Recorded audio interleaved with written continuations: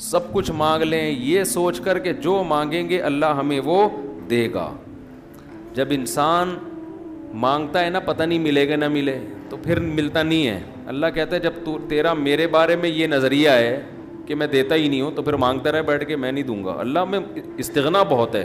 अल्लाह के सामने झुकोगे तो वो चप्पड़ फाड़ के देगा। थोड़ी सी भी अकड़ दिखाओगे तो फिर अल्लाह का कुछ नहीं बिगाड़ सकते। फिर खुद ही रुलते रहोगे, सारी ज़िंदगी बर्बाद होते रहोगे। जैसे नबी सल्लल्लाहु अलैहि वसल्लम ने एक बूढ़े को बुखार में देखा, फरमाया कि तहूर ये बुखार तुम्हारे गुनाहों को माफ़ करेगा। खैर बरकत का ज़रिया है, उस, वो बेचारा कहीं गुस्से में था, उसने कहा, ये एक बुढ़े को तंग करने के लिए आया है। आपने फरमाया, अब ऐसा ही होगा। ये गुनाहों की माफ़ी का ज़रिया अब नहीं बनेगा। तो दुआ में मांगें, ये सोच करके यकीनी तौर पर अल्लाह मेरी दुआ को कबूल करेगा।